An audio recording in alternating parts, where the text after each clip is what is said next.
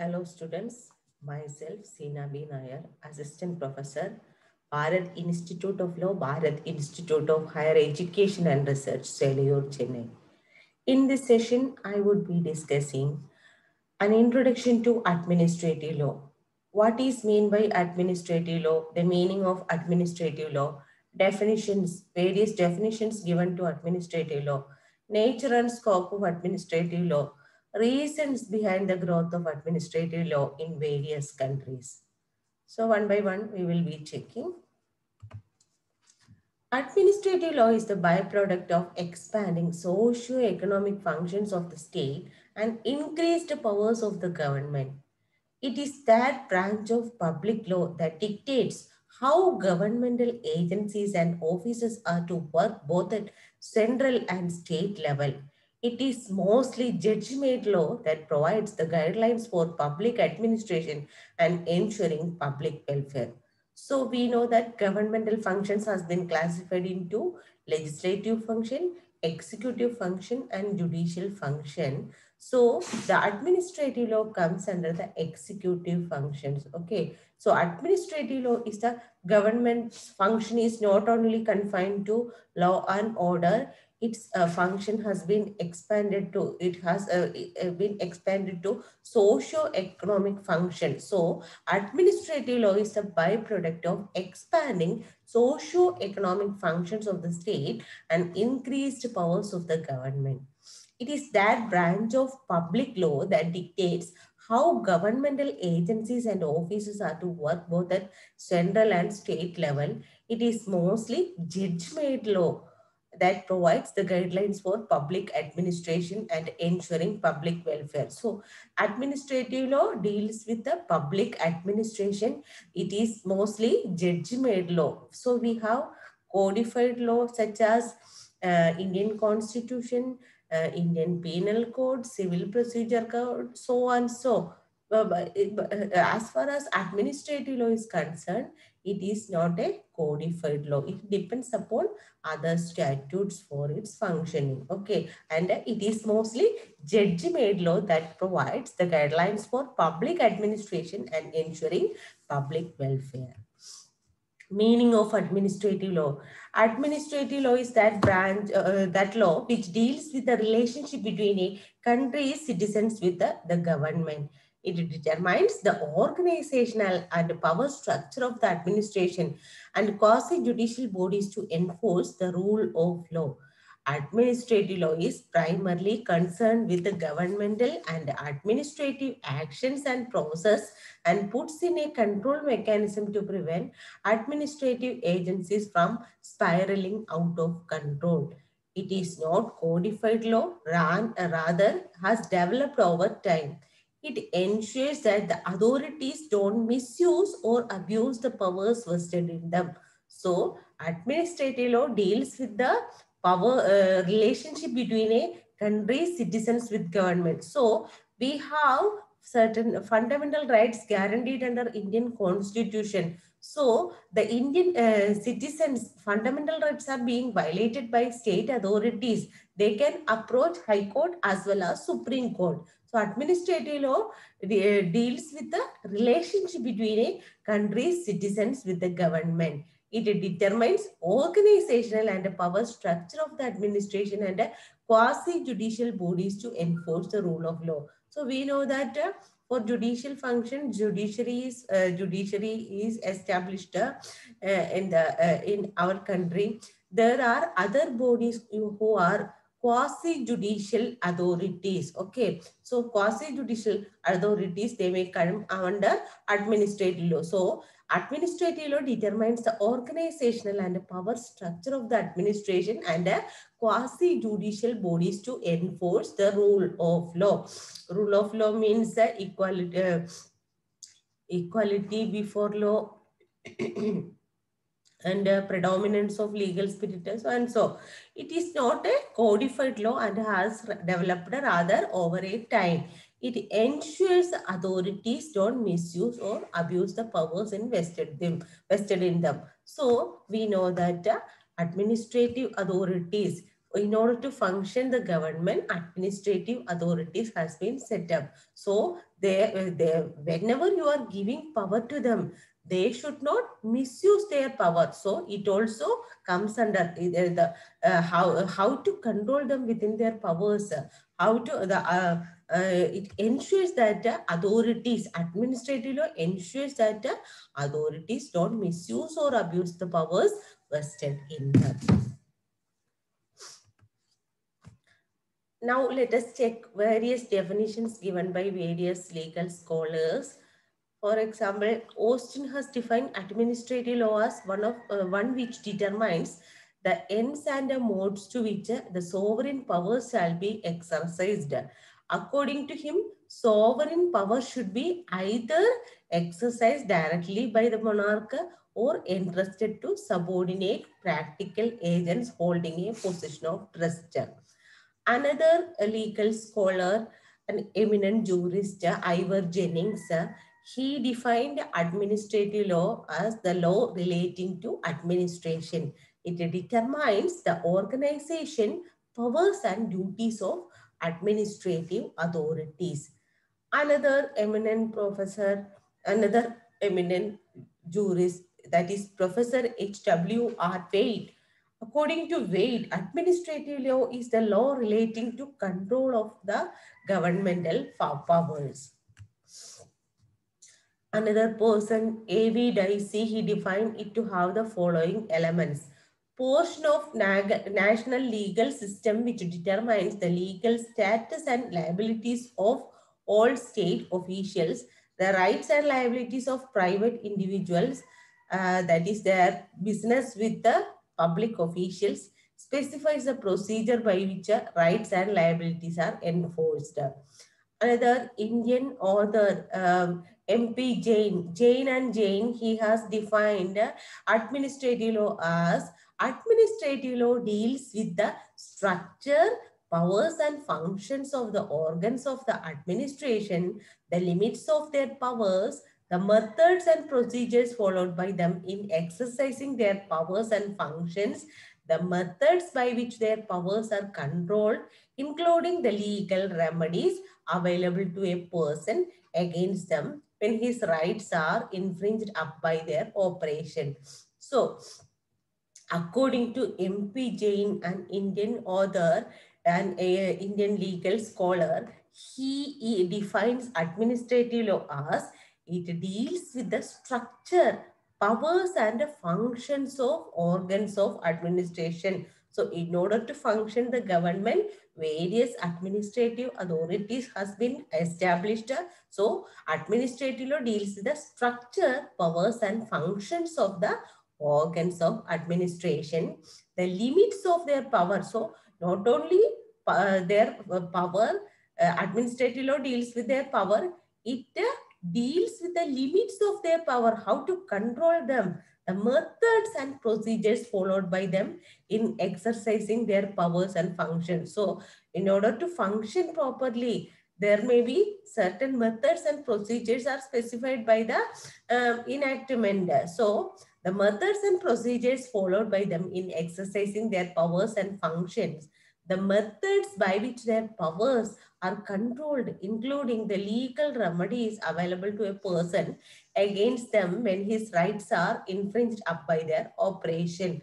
So when they are exercising their power, how to uh, uh, there may be a chances their uh, rights of the citizens may be violated. So the legal remedies available to a person against the administrative authorities when his rights are infringed by their operation. So, according to MP Jain, the powers, the structure, powers and functions of the organization, organs of administration, the limits of their powers, the methods and procedures followed by them in exercising their powers and functions, the method by which their powers are controlled, including the legal remedies available to a person against them when his rights are infringed by their operation. Another uh, legal scholar, I.P. Massey, he defines administrative law as that branch of public law which deals with the organization and the powers of administrative and quasi-administrative agencies and prescribes the principles and rules by which that official uh, action re is reached and reviewed in relation to individual liberty and freedom. So uh, from these various definitions, it is clear that administrative law is the law relating to administration.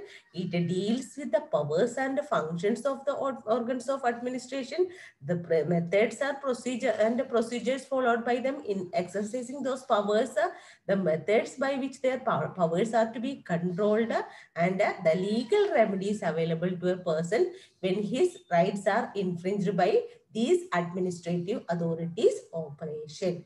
This is about the definition session. Nature and scope of administrative law. So administrative law determines the, as I said, are the admin uh, powers and duties of administrative authorities. The emphasis of administrative law is on the procedural aspect of formal adjudication.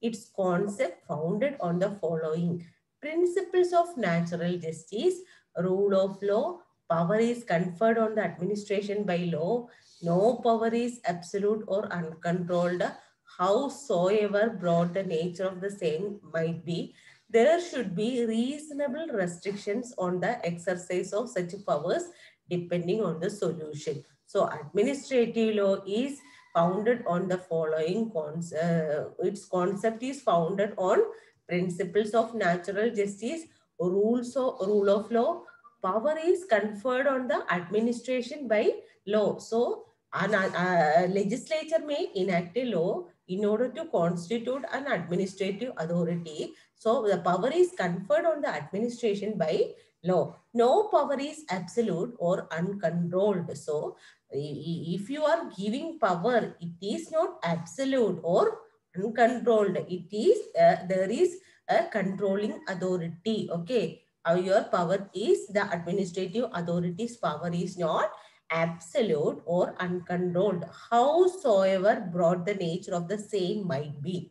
There should be reasonable restrictions on exercise of such powers depending on the solution. So there are there, there is reasonable restriction on exercise of that powers depending on the solution. So this is about the nature and scope of administrative law.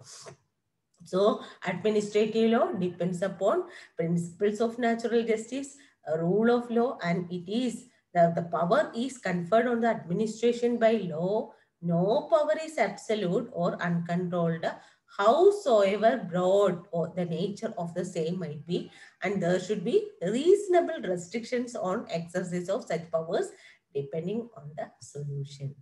This is about the administrative laws, nature and scope development of administrative law in UK. So let us see how this administrative law has been developed in various countries such as United Kingdom, United uh, States of America and in India, a comparative study of development of administrative law. In 1885, British jurist A.V. Dicey rejected the whole concept of administrative law. So, at A.V. Dicey, he wrote a book called Law and Constitution in 1885. In that, he totally rejected the whole concept of administrative law. Until 20th century, administrative law was not given in due, uh, it's due in England. It was only later that the concept came to be recognized. So till until 20th century, it was not given an importance in England. In 1929, Lord, Lord of Committee recommended for better publication and control of subordinate legislation. So, administrative law deals with the delegated legislation. So the legislative power is delegated to some other authorities.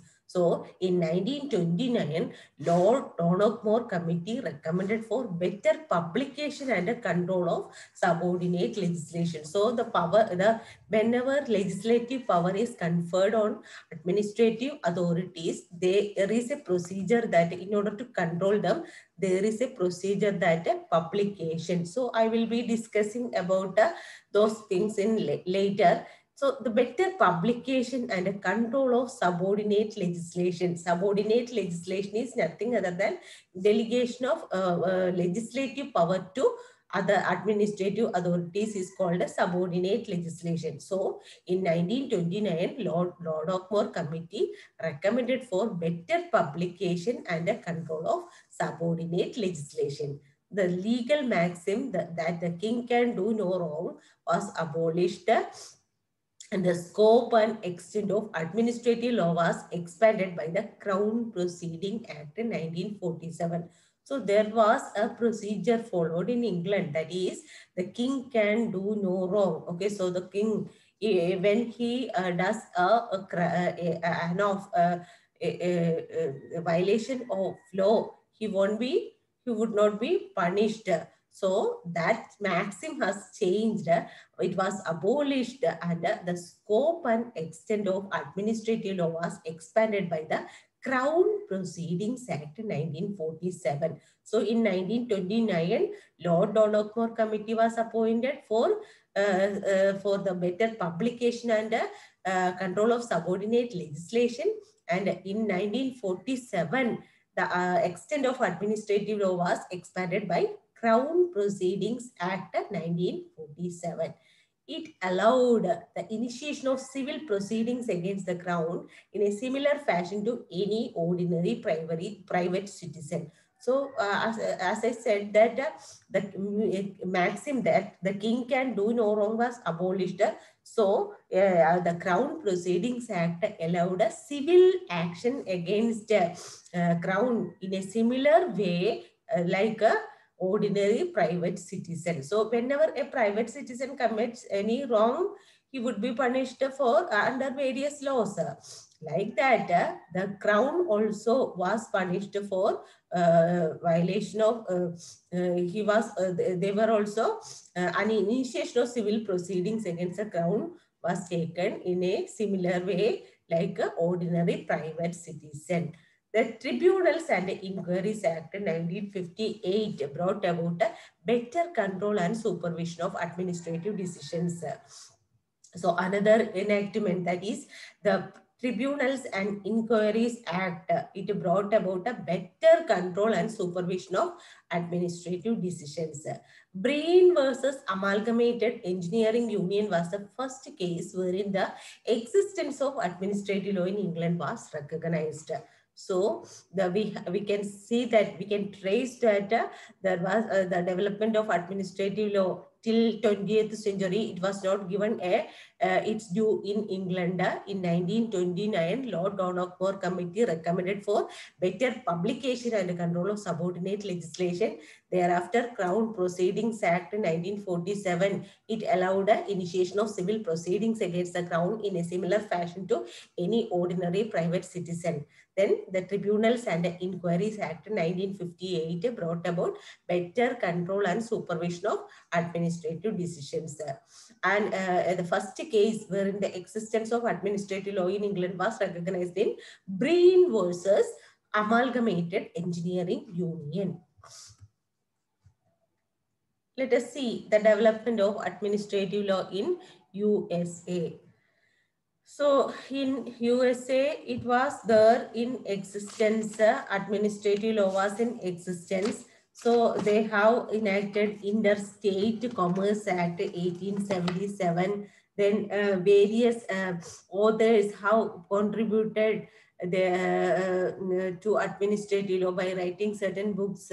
So Frank Goodnow, he wrote a book called Comparative Administrative Law another person ernst freund he has wrote a book called case book on administrative law then uh, special committee was appointed in 1933 to study the administ- scope of administrative law. Then Roscoe Pound Committee was appointed in 1938. Uh, another committee called Attorney General's Committee was appointed in 1939. And thereafter, Administrative Procedures Act 1946 was established. It was uh, enacted. Okay, so this was the development of administrative law in USA. It was in it was uh, it was uh, there in the 18th century itself. Uh, then uh, various uh, various attempt was taken to recognize administrative law.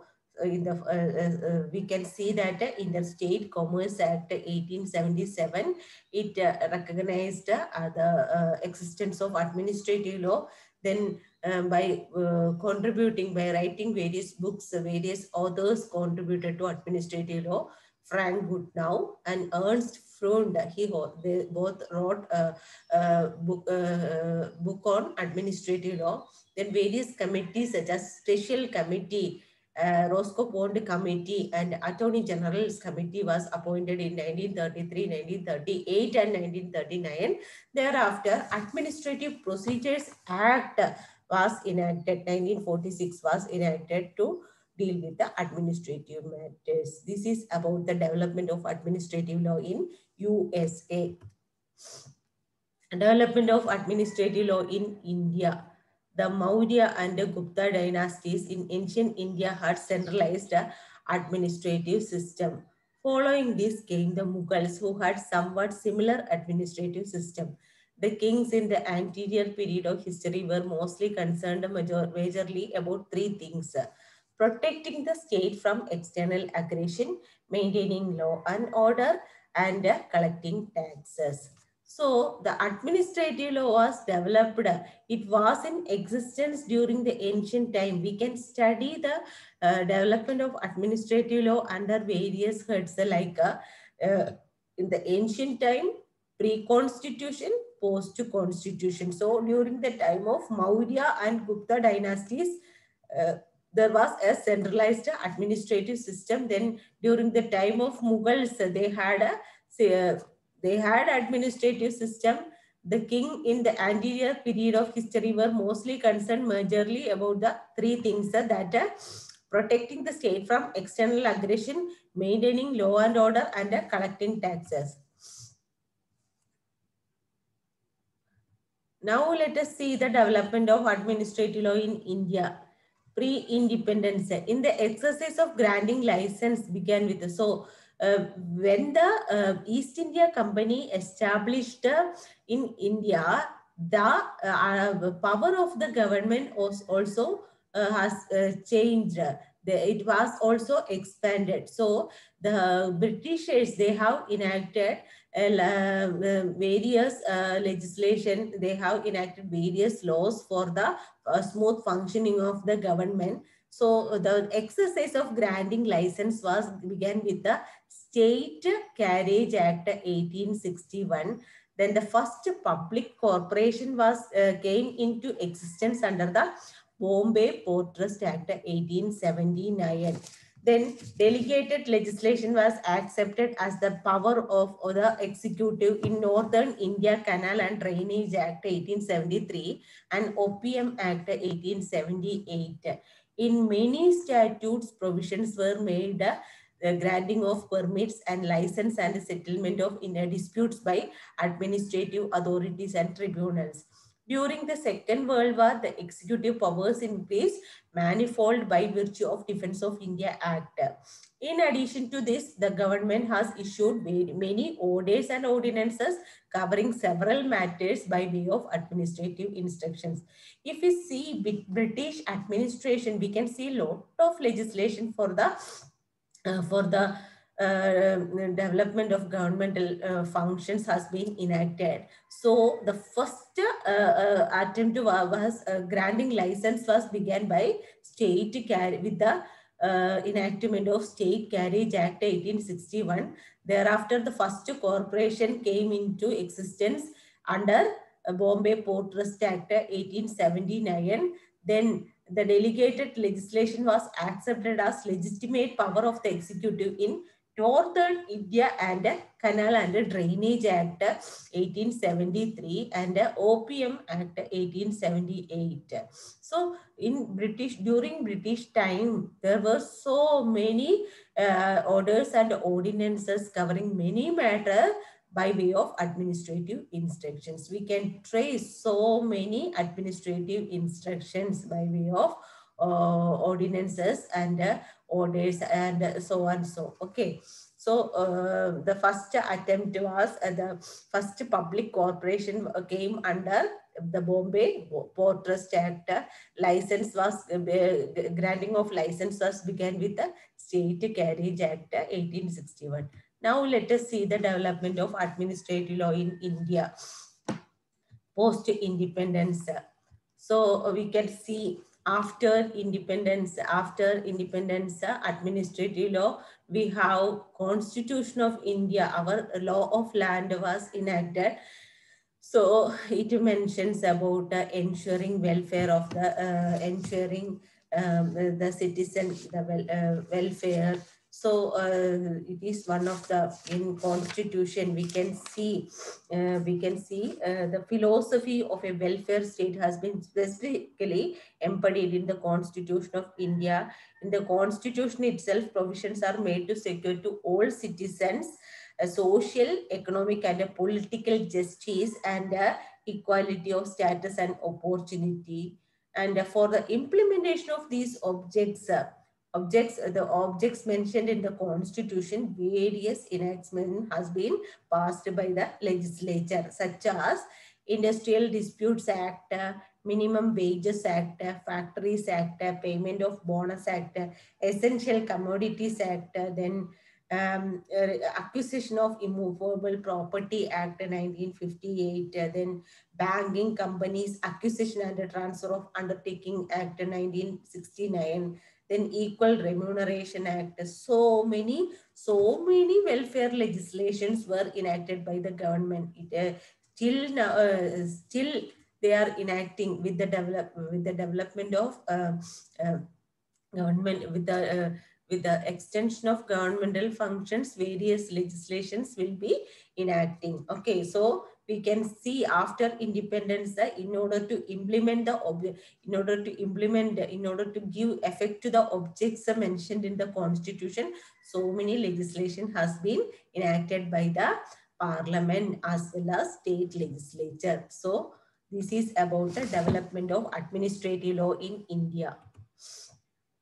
What is the reasons for the growth of administrative law so we can see, we can study the reasons for the growth of administrative law. So far we have studied the meaning of administrative law, the nature of administrative law, nature and scope of administrative law, then the definitions, various definitions given by legal scholars to administrative law, now, and development of administrative law in UK, USA, and India, we have seen. Now, let me uh, uh, discuss the reasons for the growth of administrative law. So, there is a radical change in the philosophy of the role played by the state the negative policy of maintaining law and order and social welfare is changing. The state has not confined its scope to the traditional and minimum functions of defense and administration of justice, but has adopted a positive policy and as a welfare state has undertaken to perform varied functions. So the reasons behind the growth of administrative law. So the philosophy, the philosophy of the role played by the state has been changed. The first reason is that uh, there is a radical change in the philosophy of the role played by the state. What was the role played by the philosophy? That was maintaining law and order. So the and uh, it, uh, it is totally changed and uh, the state has not confined its scope to fun, uh, minimum functions of defense and administration of justice, but has adopted a positive policy and as a welfare state has undertaken to perform varied functions. So we can see so many corporations, so many in so many fields the government has entered into. So in insurance, uh, in um, for, in education. So many so many functions as uh, government as uh, government is do, doing. So in order to ensure uh, the, in order to ensure the welfare of the people governments has policy of maintaining law and order has been changed. Its scope is uh, its function is uh, expanded to uh, so, social welfare changing the, uh, the policy of maintaining law and order and uh, social welfare is changing. The state is not confined uh, its uh, scope to the traditional and the minimum functions of defense and administration, but has adopted a positive policy and as a welfare state has undertaken to perform varied functions. The judicial system, the second reasons for the growth of administrative law is that the judicial system was proved to be inadequate to decide and settle all types of disputes. It was slow, costly, inept, complex, and formalistic. For example, judiciary, the second reason for the development of administrative law is that the judiciary, the traditional judiciary, judicial system is overburdened, it is costly, it is slow, it is complex, it is formalistic as we are seeing so much of cases are pending before so many courts, isn't it? So in order to, it is overburdened and it was not possible to expect a speedy disposal because day by day uh, cases are, new cases are added and it is like a, it is, uh, it is, uh, it is already overburdened and it is not possible to expect a speedy disposal because daily new new cases are added. So how can they dispose so fast? How can they uh, uh, we cannot expect them to uh, dispose uh, a speedy justice. Okay expect a speedy disposal of even a very important matters the important problems could not be solved by mere literary interrupting the provisions of some statutes but required a consideration of the consideration of various other factors and it could not be done by the ordinary courts of law. Therefore industrial tribunals and labor courts were established. So in order to ease the functions of ordinary courts, some other tribunals, a parallel judicial system has been established like uh, industrial tribunals and labor courts, uh, which possess the, uh, the techniques uh, and expertise to handle these complex problems. So the ordinary judicial system was so complex uh, by establishing parallel judicial system like industrial tribunals and labor courts. This, these courts, the, these courts possessed uh, techniques and expertise to handle complex problems. Okay, where the, uh, for um, um, ordinary courts fails. Then the reasons for the growth of administrative law in legislative process was also inadequate it had no time and technique to deal with the, all the details. It was impossible for it to lay down detailed rules and procedures and even detailed provisions were laid down by the legislature. They have found, have found to be defective and inadequate. Therefore, it was necessary to delegate some powers to the administrative authorities. So, we know that we have parliament as well as state legislature, how they are enacting laws. The procedure is so formalistic, isn't it? So they will, they will, uh, what they will do uh, uh, in each session of the parliament only, they will, uh, uh, they will enact a law. Okay, they will represent a, a bill, then it will go for various discussions. Finally, it has to get a permission from the president. Okay, so the legislative process was so inadequate and no time and technique to deal with it. it had no time to deal with the, all the details. It was impossible to uh, for it to lay down detailed rules and uh, procedures. And uh, even when detailed provisions were laid down by legislature, they are found to be defective. So parliament is overburdened with uh, their, their power is to lay, may, make legislations. So we they, they day by day they are dealing with so many uh, so many new issues for that they have to implement they have to enact certain laws for in order to in order to um, uh, it is very formalistic in a, uh, for passing a law it is not an easy easy job for the even it had no time to deal with the uh, and a technique to deal with the, all the matter in detail so uh, it, it was impossible for it to lay down detailed rules and procedures. Therefore, it was necessary to delegate some powers to the administrative authorities. Okay. So this is also the reasons behind the uh, for, uh, reasons for the growth of administrative law. And in administrative law, there is scope for experiments and uh, administrative process. So uh, like that, for example, UGC Act it is it uh, was enacted to entrust the power to UGC. Okay, so UGC can make a rule for certain time. If it is not practically possible, it can withdraw that rule. Okay, like but uh, the, there is a scope of experiments in administrative process. Here, it is not necessary to control a rule until the commencement of the next session of the legislature. Here, a rule can be made tried, tried for some time and if it is defective, it can be altered and modified within a short period. Legislation is rigid in character while the administrative process is flexible. Then administrative authorities can avoid technicalities. Administrative law represents a function rather than uh, theoretical and legislative approach. Uh, traditional judiciary is conservative, rigid and technical. It is impossible for the courts to decide cases without formally formality and technicality. Administrative tribunals are not bound by the rules of evidence and procedures and they can take practical view of the matters to decide complex problems.